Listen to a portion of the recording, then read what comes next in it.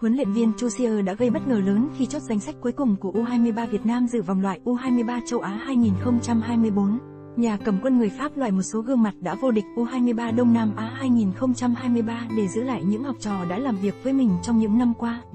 Nói về sự chuẩn bị cũng như danh sách của U23 Việt Nam, huấn luyện viên Chu Sier cho biết, chúng tôi chuẩn bị cho giải đấu này ngay từ ngày 1 tháng 3 năm nay. Từ thời điểm đó, tôi đã tập trung làm việc với khoảng 70 cầu thủ. U23 Việt Nam đã trải qua nhiều giải đấu như giải Doha Cup SEA Games, đợt tập trung FIFA Day tháng 6 và giờ là đợt tập trung FIFA Day tháng 9. Ngoài ra, một số cầu thủ U23 cũng được đôn lên sử dụng hồi tháng 6 cùng đội tuyển Việt Nam và hiện tại là vòng loại U23 châu Á tháng 9. Do đó, không thể nói U23 Việt Nam mới chỉ có một tuần chuẩn bị.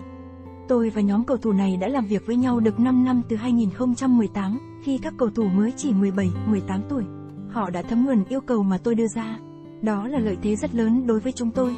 Ngoài vòng loại U23 châu Á 2023, U23 Việt Nam cũng đang trong quá trình chuẩn bị cho ASEAN 19, đội bóng do huấn luyện viên Hoàng Anh Tuấn dẫn dắt.